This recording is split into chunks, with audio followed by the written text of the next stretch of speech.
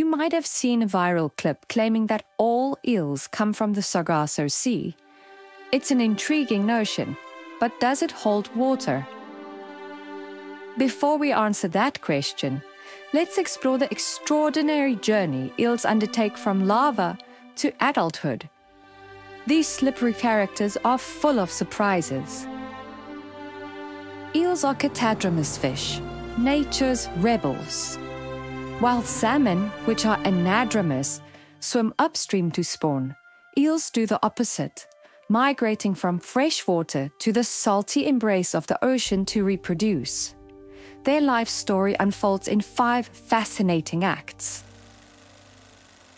Our tale begins with a peculiar larva called Leptocephalus, meaning slim head, a transparent, leaf shaped wisp drifting through ocean currents.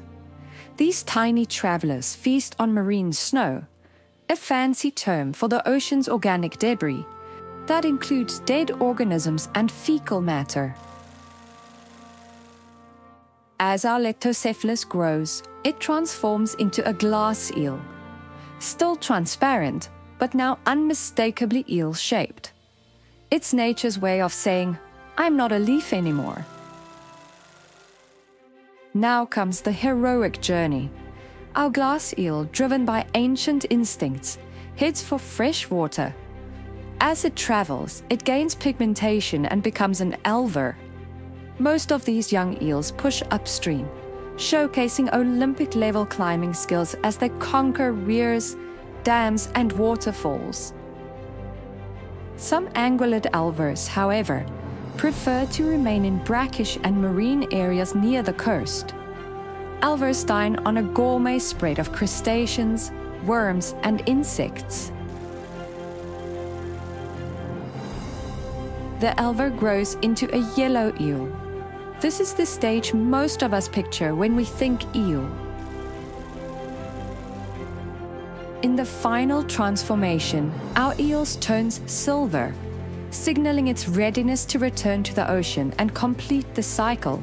Some marine eel species, like moray eels, don't undergo this silver transformation. They spend most of their lives in the ocean and don't have the same migratory needs. Thus, don't need to undergo the same physical changes. Now, to our burning question Do all eels truly hail from the Sargasso Sea? The short answer is no. While the Sargasso Sea is indeed the romantic rendezvous point for American and European eels, it's not the universal eel nursery.